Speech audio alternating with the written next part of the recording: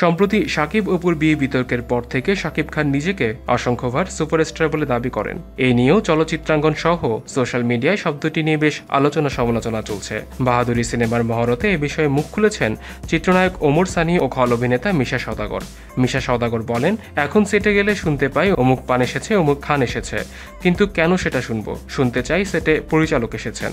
তিনি আরও বলেন, একসময় পরিচালক এসেছে শুনলে সবাই দাঁড়িয়ে যেতাম। এরপর এসেছে ভাই সংস্কৃতি। ভাই তো আমাদের যা ইচ্ছা তাই করে দিল। তাও ভাইয়ের নাম বলি না। কখন বলব? একান্ন বছর বয়স মরতে বসেছি। আরেকজন বলে, নায়িকা এসেছে। নায়িকা, আরে superstar. Director is the most superstar of our country. তিনি বলেন, আমি শুনতে চাই, ইবনি মিজানের সিনেমা এসেছে। আমার বাবা মা কিংবদন্তি পরিচালক আজিজুর রহমানের সিনেমা আসছে। আমরা শুনতে চাই না, কোনো পানের সিনেমা চলছে। জানে সিনেমা চলছে বা খানের সিনেমা চলছে।